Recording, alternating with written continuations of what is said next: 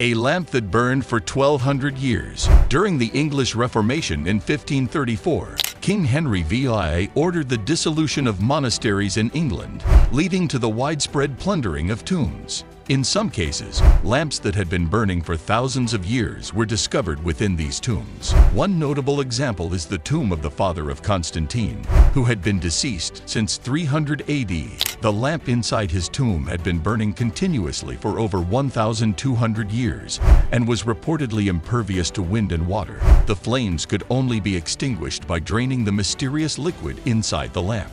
Legends of such ever-burning lamps can be found in ancient civilizations across the globe, including China, Ireland, France, and Italy.